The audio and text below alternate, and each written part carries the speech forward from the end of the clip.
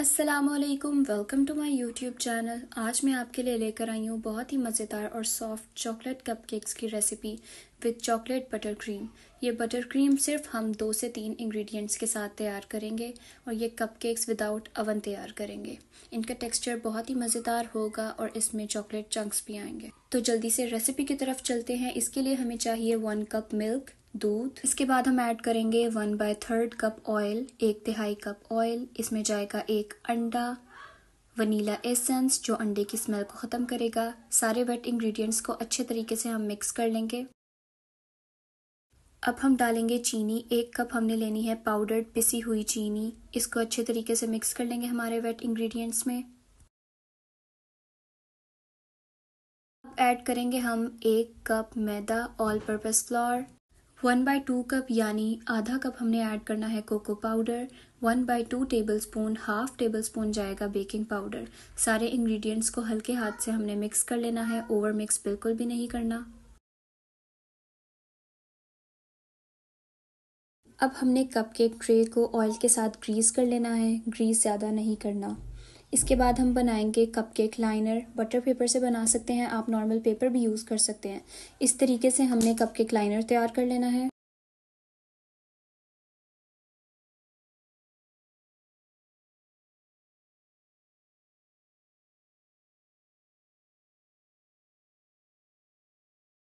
दोबारा से ऑयल के साथ ग्रीस कर लेना है और इसमें हम ऐड करेंगे अब अपना कपकेक बैटर ये बटर क्रीम कपकेक्स हम बहुत आसानी से तैयार कर सकते हैं with in half an our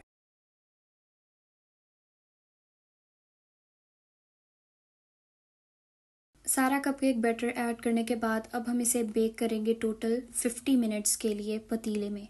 आप कुकर प्रेशर में भी बेक कर सकते हैं और 50 मिनट्स में ये बेक हो जाएँगे. ये देख सकते हैं आप मज़ेदार से हमारे कपकेक्स रेडी हैं.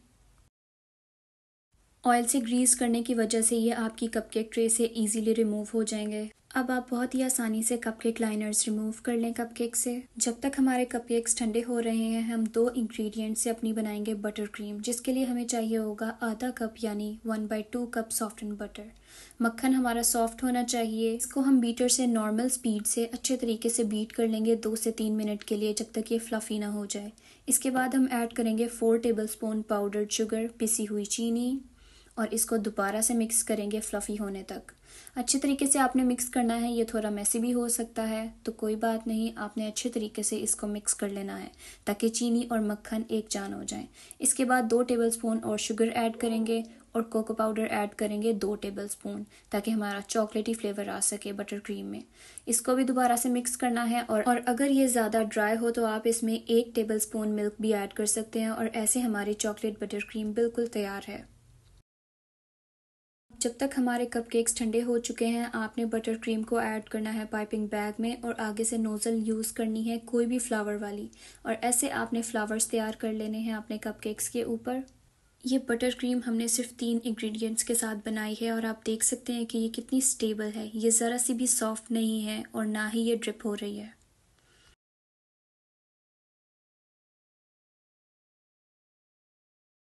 अब आप कोई भी डेकोरेशन यूज़ कर सकते हैं। मैंने चॉकलेट बिस्किट्स को क्रश करके थोड़ा सा इसके ऊपर गार्निश कर दिया है ताकि अच्छी सी लुक आ सके।